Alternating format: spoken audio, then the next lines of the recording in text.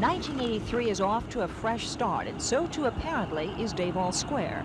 There are big crowds taking advantage of a slow Sunday and lots of time with nothing to do. But look closely. These people are mostly browsing, not shopping. Still, I think it's going to be a success. why do you say that? I think Providence needs a place such as this for people to come on a Sunday or during the week. Shopkeepers say only about a third of the building is occupied. It's been slow at the start, but uh, things have progressed uh, quite well for us. Are you saying that the gamble has paid off?